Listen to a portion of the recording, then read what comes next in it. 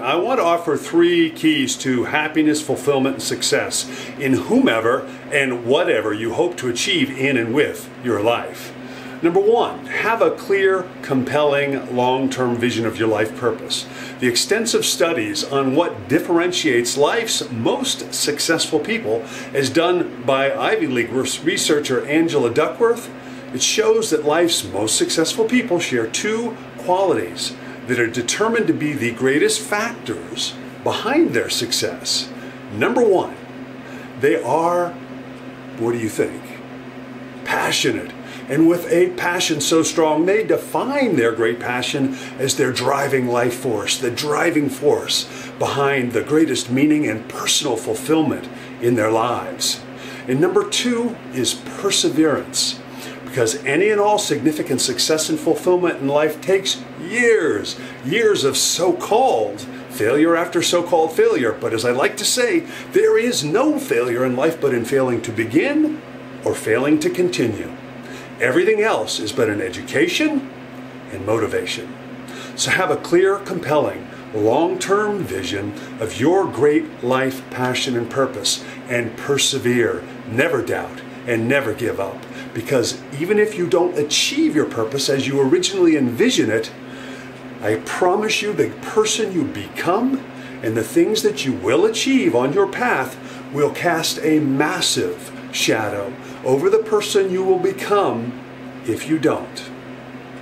And the second main piece of advice remain mindful that you are both biology and psychology. And just as a rocket engineer or a computer engineer must master their technology, just as a professional, peak performing, world class athlete must master their biology and their psychology, and a doctor must master all of their technologies intellectual, biological, and psychological, you must be a master of your technology, both your psychological technology, your software, as it were, and your biological technology, or your hardware, as it were. And your hardware affects your software, just as your software affects your hardware, each moment, each day. And not just in obvious ways, like if we neglect our biology and get sick, or we don't get sufficient sleep. That's obvious. That, that we have to master our biology in that respect. But understand that each and every day, each and every moment of your life, your productivity, your level of performance, and your achievements are wholly determined by the quality of these two things your psychology and your neurobiology, moment by moment throughout the day.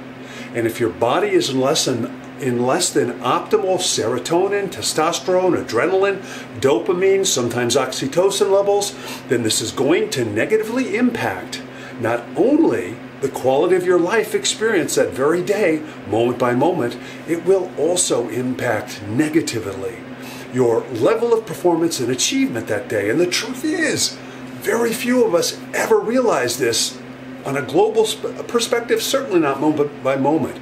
But one day becomes another day, becomes a month, becomes a year and a lifetime. And we've unknowingly built our lives on a foundation of self sabotaging psychology and biology, underliving to our potential, underachieving to our potential. So, my advice is to never stop learning grow constantly, evolve in self awareness, in mindfulness, and in understanding of how to master your technology, your biology, and your psychology. Because these indeed are the instruments of both the quality of your life, day by day, moment by moment, your life experience, as well as the quality of your ultimate life achievements. And finally, know that as crucial as this knowledge is, the famous quote is a lie. Knowledge is not power. Knowledge is only potential power. Because haven't you time and again intended to use some aha moment or some other new awareness or information or knowledge that you knew would be a game changer for you? And did you ever use that? Probably not. Or you maybe used it weekly and once. So use the techniques that are available, ones I talk about all the time, to turn your new awareness and knowledge into actual mindset change, belief change, habit change, skill change, behavior change, change applied habitually, consistently, and exceptionally. Thank you.